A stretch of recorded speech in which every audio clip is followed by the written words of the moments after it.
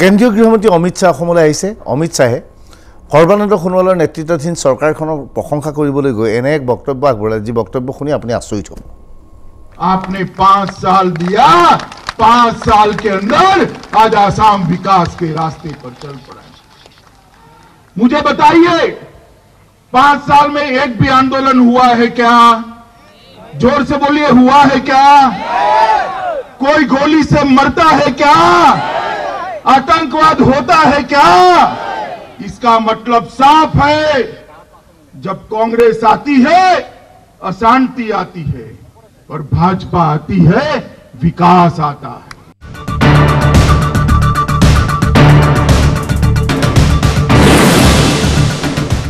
অমিত শ্বাহৰ বক্তব্য যোৱা পাঁচটা বছৰত অসমত কোনো ধৰণৰ আন্দোলন হোৱা নাই পুলিচৰ কোনো ধৰণৰ গুলীচালনা হোৱা নাই কিন্তু অমিত শ্বাহে পাহৰি গৈছে যে আজিৰ পৰা এটা বছৰ পূৰ্বে কি হৈছিল কা আন্দোলনৰ সময়ত কে কেনে পৰিৱেশৰ সৃষ্টি হৈছিল?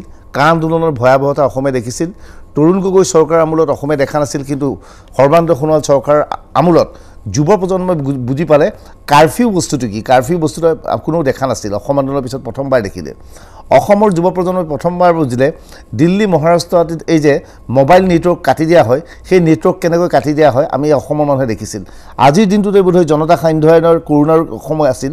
ইয়াৰ আগতে কাৰ কাহিনী চলি গৈছিল? কাৰ সময় এই বক্তব্যখিনি অমিত শ্বাহে পাহৰি গৈছে? কাৰ আন্দোলনৰ সময়ত অসমত যে ভয়ানক আন্দোলন হৈছিল সেই কথাটো পাহৰি গৈছে।